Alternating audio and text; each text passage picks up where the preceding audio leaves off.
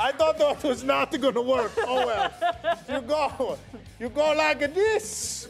Yes. Oh my God. Okay. It's liquid magic. The winners of this year's Tony Party will have their names etched on the base here. There used to be other names, but I kind of smeared them at some point. no, we can stop it right here. It's right here. You stop on that. Open this. People in the studio. Ooh, frozen vanilla bread balls. This is the worst item. Oh, I would steal the bread ball.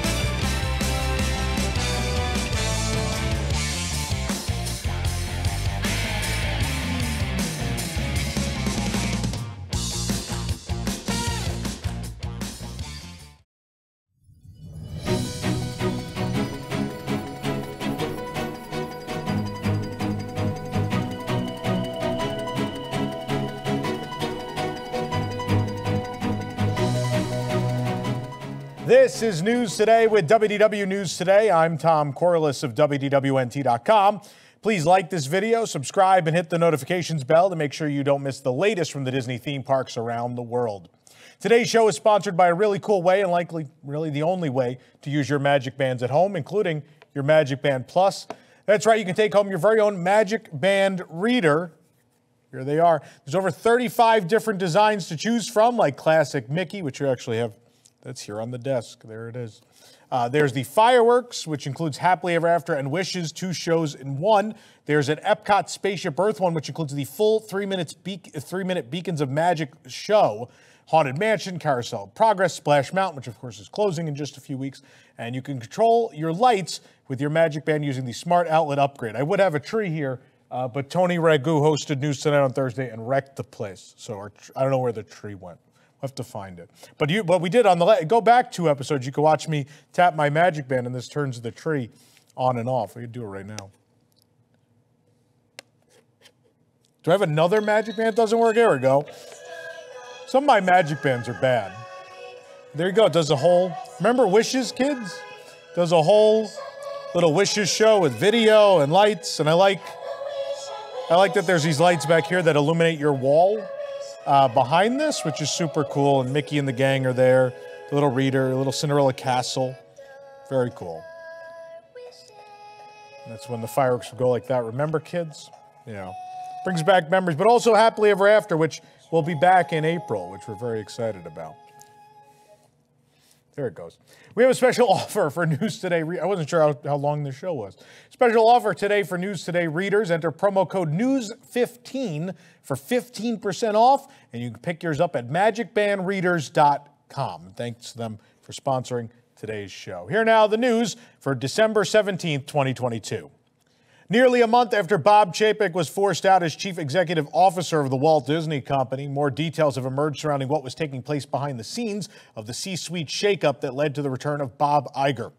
In an article from the Wall Street Journal, they detailed uh, the frustration of other Walt Disney Company executives and the steps that were taken for Bob Iger's return as the company's chief executive. The contention between the returning CEO and Chapek, who was ousted in November, began uh, before Iger had even left the company, but it was a series of poor decisions that left a number of high, uh, high-ranking other employees and board members dissatisfied with the direction the company was heading. According to the WSJ article, Chapek was unhappy that Iger, his predecessor, held control long after stepping down, seemingly undermining Chapek on several occasions. We had heard this before. From the start, Iger held on to his office at the Disney corporate headquarters in Burbank, using it to host meetings with department heads without extending an invitation to Chapek. Being frozen out of the meetings, Bob Chapek grew increasingly unhappy about Iger sticking around after assuming the top job in 2020. The article contends that, quote, Chapek told friends that Mr. Iger's attitude seemed to be, they work for me, not for you. The COVID 19 pandemic further drew contention between Iger and Chapek. Iger and Chapek, the two CEOs, found themselves at odds, uh, with Chapek wanting to lay off Disney employees right away, preserving the bottom line, while Iger pushed to, for the company to maintain employment for cast members until federal relief was in place. You may remember we had this story a couple weeks ago.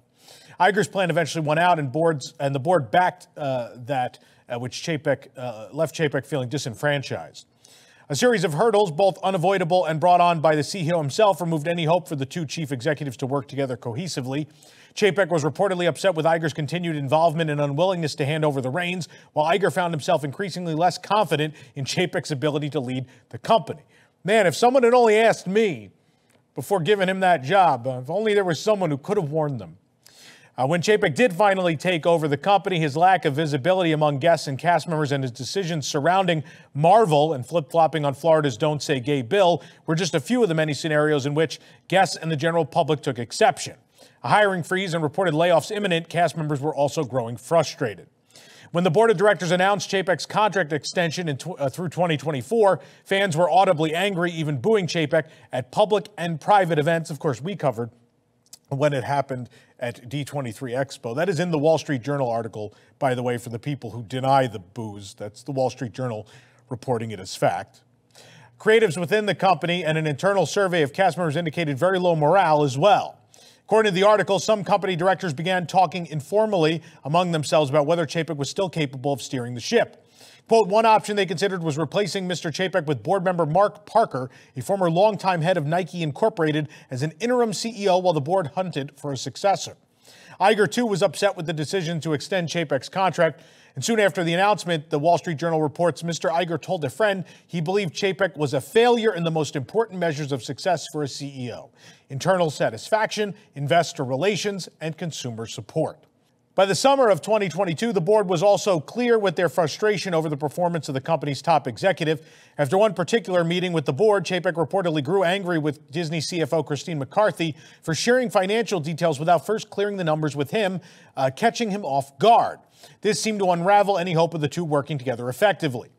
The Wall Street Journal reports that board members Safra Catz, Amy Chang, Calvin McDonald, and Derica Rice grilled Chapek over the company's poor performance. McCarthy addressed most of the questions, later telling associates that her boss had fumbled his answers. The report contends that relations between the CEO and CFO were so frayed that he didn't include her in an October board meeting. Chapek also told executives that she had lost focus, distracted by her husband's ailing health, and had become unstable, comments repeated to some Disney directors. Ms. McCarthy learned about it from colleagues. Reportedly, Parks chairman Josh D'Amaro was considering leaving the company over all of this, and there were serious concerns that he and Alan Bergman, head of the film studio, were both about to exit as a direct result of Chapek's actions. Fourth quarter earnings eventually sealed the fate of Chapek, who, against the advice of McCarthy, tried to claim success while reporting on the less than expected earnings period rather than face the music head on. The Wall Street Journal reports that on November 16th, McCarthy took matters into her own hands. Without having confronted her boss or seeking approval of the board, she called Iger to gauge his interest in returning as CEO. She caught Iger at a low point. He had been telling friends he was more concerned over the direction of the company than ever. Iger reportedly welcomed the gesture, feeling complacent in retirement and a call to stifle the recent instability felt under Chapek. With Iger eager to return as chief executive, the board was quick to act, informing Chapek of his immediate removal as he prepared to attend Elton John's final U.S. concert being held that evening at Dodger Stadium. He received the news from the chairman of the board of directors, Susan Arnold, who called and told him, quote, his services were no longer needed. I, I know I'm supposed to report the news without opinion. I can't help it. I can't get the smile off my face every time I read that he was told his services were no longer needed. Um, all of this just sounds, uh, it sounds so much like the interactions we had with Bob Chapek. Um, uh, many of you will know we had, and I know people joked about it as if it was not real, but there was a very real war sort of between WDWNT the fan community and and Disney at large, mostly with Bob Chapek and mostly under you know direction of Bob Chapek. There were plenty of people that didn't want to be a part of it. They were kind of forced to be a part of it, and all these things that were just said align so perfectly with some of the things we went through. I'm sure many of you remember. Um, when we announced Tron ahead of the D23 Expo, um, later on, PR people told me they were yelled at because we had announced it early. He didn't get to say it on stage. So that that like uh, the way he handled other people in the company, which is stated there again, it's not surprising, um, and then an, an, unwillingness to be honest with the public, right? Again, like uh, he, he, was advised not to try to paint a positive picture of the financials because they weren't great, and he still did, and that's what did him in. And if you remember, when we had leaked early that Disney was going to get rid of the Country Bear Jamboree and redo the Tiki Room as Moana, which were both very real projects, by the way, despite what the Disney Parks blog had to go out and say under, again, Chapek's direction. That, that's what he did. He wanted to control the narrative, whether the narrative was real or not. He would say whatever he wanted to say to claim victory. He did it to us. He tried to do it as CEO, and I'm glad, you know, again, I know it's the news and I'm not supposed to weigh in, but I'm glad he got what he deserved. Um, and I'm glad the world got to see what we put up with. Uh, you know, it's the greatest. You don't have to, no one has to buy me anything this year. I got the greatest Christmas gift of all, all and it's, you know, uh, to use the adage, it is the gift that keeps on giving as we continue to get these stories about what happened behind the scenes. But again, um, in the end, it's it's such a great positive outlook for next year. I'm very excited for next year and the future of the company under Iger and D'Amaro and and all of these people who um, I think made the right call. Let's move on, shall we? Monorail Black was among the first of the Walt Disney World monorails to be completely refurbished way back in 2019, but it is now re- uh, returned to service again after a minor refurbishment. We caught Monorail Black at the Transportation and Ticket Center, and among the updates are new headlights. The red deltas on the uh, on the black stripe around the monorail were added back in 2019, so they're not new. But new are the new red pinstripes that have been added to the bottom of the monorail. Those are those are pretty sleek. The red pinstripes are barely visible when the monorail is in the station, but they're very clear when it's moving along the track. And inside, the interior design is the same as it was in 2019. Um, right now, here's a better look at those red pinstripes, which I, I just I like this. I hope this is happening to all of them. I think it's a nice look. Um, very very exciting. Several of the floats in the electrical water pageant at Walt Disney World are currently out of commission, leaving nearly half of the show missing. Reportedly, there's a major issue with the barges that requires major repairs, and they'll be out for six to eight weeks. This puts them on track for a roughly January return. When they return, the show floats should be exactly the same as it was previously. At least that's what cast members have told us. The barges missing are the Dolphins, Crocodile, Dinosaur, Seahorses, and Neptune you know, the dinosaur, the, the best part of the electrical water pageant, of course. Uh, electrical water pageant is a show that takes place on the Seven Seas Lagoon and Bay Lake every night, weather permitting. It features 14 different floats with lights depicting images of sea creatures.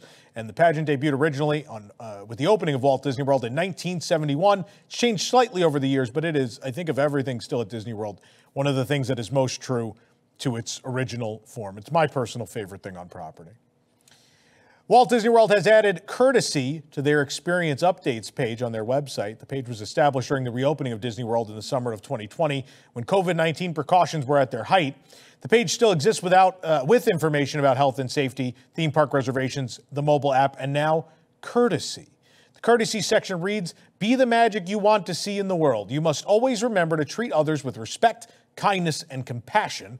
Those who can't live up to this simple wish may be asked to leave Walt Disney World Resort. Of course, this is in response to the slew of physical altercations in the last two years between guests uh, and sometimes even with cast members. Earlier this week, two guests were seen fighting during Harmonious at Epcot. This summer, two families made national news when they got into a hand to hand brawl in the middle of the Magic Kingdom's Fantasyland over an alleged bump in a queue. At Hollywood Studios, a man claimed he was assaulted by children but ended up arrested for child abuse. A screaming match at the Transportation and Ticket Center thankfully didn't get physical, but there have also been multiple fights on the Magic Kingdom ferry boats. There's been fights at Disneyland Resort as well, including one during the return of Fantasmic. And these are just a small portion of the incidents from this year alone, which we've reported all of those right here on this show. This program is brought to you by our official travel agent sponsor, The Vacationeer, the engineers of your next magical vacation.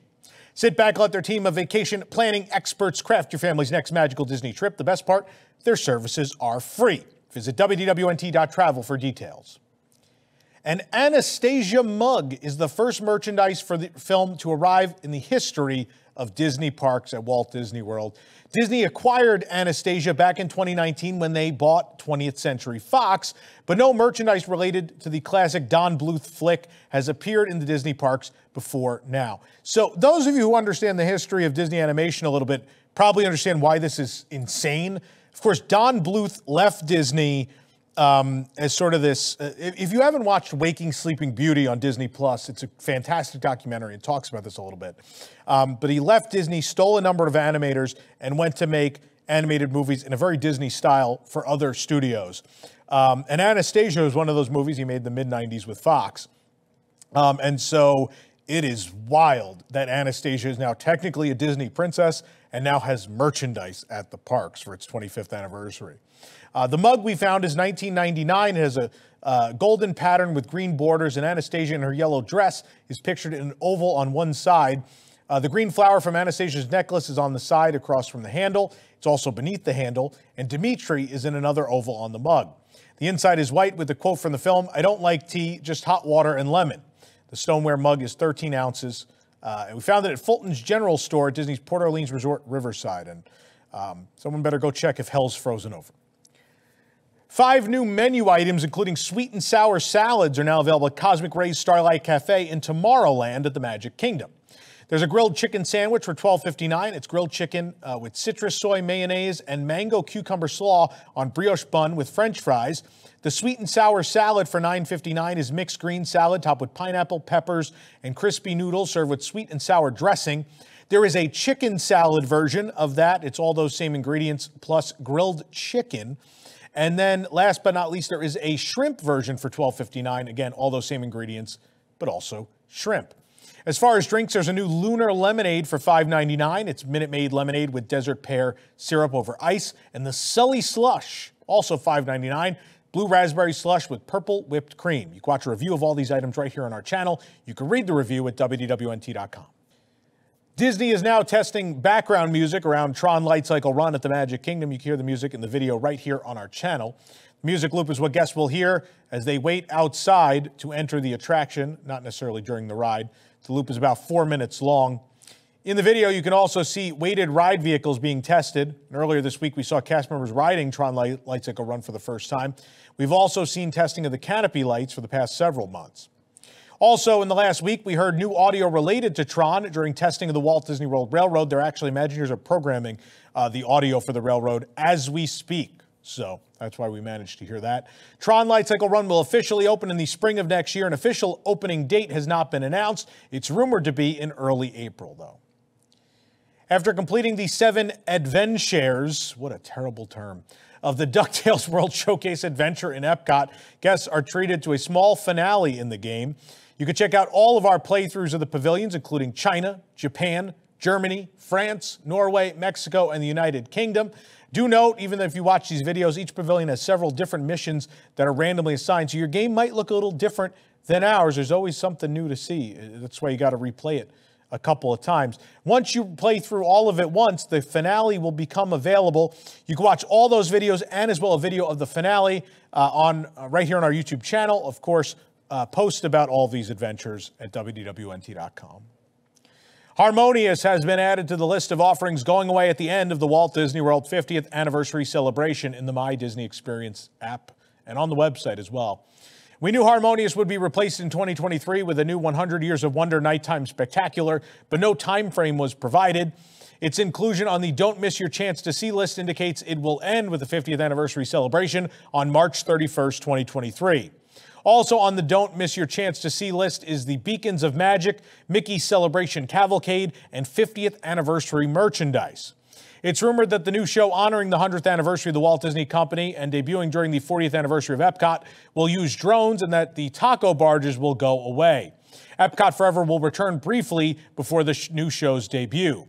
Disney Enchantment will also end sometime next year, and Happily Ever After will return. The rumor is that that will be at the end of the 50th anniversary celebration as well.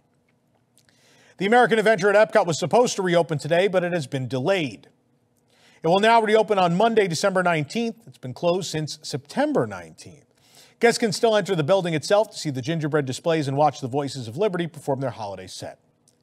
Just a few days ago, it was announced that the Roundup Rodeo Barbecue in Toy Story Land at Hollywood Studios will now open in the spring of 2023. That's delayed from the end of this year. But Disney has shared photos also from the interior of the new restaurant. The backstory is that Andy has built a rodeo restaurant out of toys and other spare items. Pixar animators designed figures and created artwork unique to the Roundup Rodeo Barbecue. Animators and Imagineers even designed full comic strips starring Woody, which Andy has used as part of the dining room ceiling. There's a quote unquote steam train supported by colored pencils, a house of cards, and game boards. The cardboard box walls are covered in drawings of various roundup scenes. Jessie, Trixie, and Bo Peep with her sheep, Billy, Goat, and Gruff are the stars of the rodeo. Uh, see all this when it opens in the spring, featuring, uh, as you might have guessed, barbecue fare. This week at the Tower Hotel gift shop at the exit of uh, Twilight Zone Tower of Terror, we saw that a new carpet featuring the Hollywood Tower Hotel logo has been installed. There's now a maroon runner styled section of carpet as you enter the gift shop or as you exit, depending where you're coming from. It does look similar to a red carpet. So as the movie stars exit the hotel, they're walking along a premier carpet in a way. The Hollywood Tower Hotel insignia logo is placed just inside the doors at either end of the carpet. It is yellow with the HTH monogram. The maroon coloring looks distressed as if it's been unattended to for a long time. This Persian style carpet has a darker tone than the old pattern. It's intricate, an intricate pattern with a maroon background. The photo you're looking at now is the old carpet that had a brighter yellow forward pattern. Overall, that's a good, good change. Thematic changes, always, always good. With Avatar, The Way of Water now in theaters and the Synergy Machine in full swing from Walt Disney World to Shanghai, it's not surprising to find a number of new food items right here in Orlando. The Avatar The Way of Water cocktail is 1850. It's available at Sanaa. It's available at Victoria Falls and Boma as well. It's African Star rum, Bacardi raspberry rum, Bols Blue curacao, and lemonade garnished with a lotus flower glow cube and mint. In honor of the release of Avatar The Way of Water this month, they also have new limited time items at Satu'li Canteen in Pandora at Animal Kingdom. Uh, there's the Ocean Moon Bowl for 1749. It's blue noodles, tuna, watermelon radish, pickled daikon, rainbow carrots, avocado, cucumbers, and red cabbage with miso and sweet soy drizzle, topped with micro cilantro. The Ilu Splash Margarita is 1350. It's Corazon Blanco tequila with kiwi sour mix, lime juice, and a kiwi slice. And the Metkayina Mousse is 629. It's flourless chocolate cake, chocolate mousse, raspberry gelée, mango coulis, boba pearls, and a milk and white chocolate garnish. There are reviews of all these on our website. I also did a whole video where I go try all the food. I go to see Avatar. We even check out the new projection show. Uh, be sure to check out that video right here on the channel. Disney has finally confirmed that the lobby of the Grand Floridian Resort and Spa will be refurbished next year. Uh, we reported earlier this year that the lobby would be renovated as part of the ongoing update to the resort. Disney publicly defended their remodel of the resort without specifically stating the lobby would be updated. Uh, of course, this story goes back all the way, by the way, to 2017. January of 2017, we posted uh, the whole story about Bob Chapek came in to the division. He thought the hotel was dated. He really wanted to rip the place apart. Uh, but anyway, in the new blog post, Disney stated, quote, the ongoing renovation will also include an upcoming refurbishment of the lobby, which will maintain the classic theming you know and love with some fresh new enhancements. Disney's Grand Floridian Resort and Spa will celebrate its 35th anniversary on July 1st of 2023. Fun fact, the Disney Parks blog wrote it was the 30th anniversary of the hotel, which isn't real because it opened in 1988, by the way. Good job, guys. Keep it up. Disney is celebrating 70 years of Walt Disney Imagineering with a behind the scenes look at the creative team behind Disney Parks. Imagineering was officially formed on December 16, 1952, 70 years ago uh, this week, as Walt Disney Incorporated. A group of Disney filmmakers was chosen to design and develop Disneyland at that time. The group was later named WED Enterprises, standing, of course, for Walter Elias Disney, and then eventually to Walt Disney Imagineering. Today, Imagineers represent more than 100 different disciplines with more than 500 U.S. patents from Walt Disney Imagineering and Walt Disney Imagineering Research and Development combined. In honor of the department's 70th anniversary, Iwerks and Company, the studio that produced the Imagineering story on Disney Plus, created a short video featuring old behind-the-scenes footage of Imagineers at work, which you should go and watch. A real quick shout out. I know there are many uh, former and current Imagineers that watch the show, um, wherever you guys are. Thank you so much um, for the part you've played in this 70 year legacy that has given uh, myself and um, all the people watching um, such amazing memories. So thank you. Congratulations to everyone who's ever worked at WDI um, for what they've accomplished. Uh, absolutely incredible. For the absolute latest on these stories and all those that didn't make it to today's show, be sure to check WDWNT.com and follow us on all your favorite social media platforms. You can support the entire team behind this show and others by joining the WDWNT Interglobe Society at patreon.com slash WDWNT. Get access to exclusive content, discounted show and event tickets, and more. Special shout out to all the WIGS members watching who make this show happen every week. Real quick, again, thank you to a sponsor of today's show, uh, magicbandreaders.com. for uh, sending these over and for sponsoring the show. We really appreciate it. Please go pick one up. For the worldwide leader in Disney Parks news, this is Tom Corless saying, enjoy the rest of your today and have a great, big, beautiful tomorrow. From WDWNT TV, this is Park Center. Join us each week for news and discussion topics from the Disney and Universal theme parks around the world. We cover the stories in a quick, concise, and fun format, and then our panel breaks down and debates some of the biggest issues and what they mean for us, the parks fans. From the latest announcements to openings and delays to scandals and snacks and merchandise and more, we'll cover it all in 90 minutes. Join us live every Sunday night at 9 p.m. Eastern on YouTube at WDWNT TV or watch episodes on demand anytime.